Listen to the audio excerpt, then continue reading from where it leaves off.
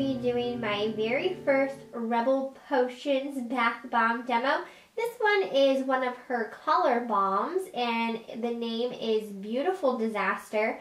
This scent is in the Furs scent and that one is described kind of like a coconut, vanilla, but with a little bit of green scents in there as well. So kind of think like a little bit floral, just a little bit like, you know, walking in a garden kind of smell. I think it smells a little bit like the Bath & Body Works Rice Flower and Shea. That's what it reminds me of and I love that scent. So we're going to stick this in and see what it looks like.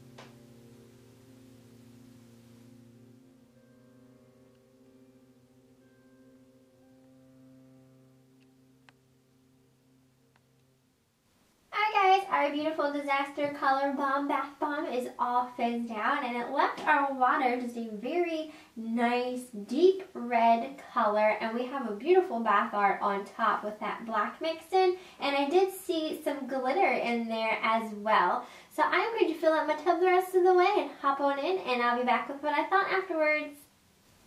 Hi guys, I'm finished with my beautiful Disaster Rebel Potions Color Bomb Bath Bomb. As you can see, I do have a little bit of cleanup in the tub. However, if you notice, I did wipe away some of that black right there. So it does wipe right off. It's not actually staining the tub. It's just going to require a little bit of cleanup. But overall, the bath bomb was very moisturizing. My skin feels great. And I loved the bath art on this and the watercolor. I actually posted a pretty cool picture on my Instagram of the bath art that this bath bomb made.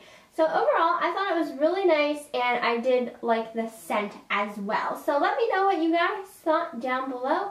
If you're not already subscribed, just hit that button and I will see you next time.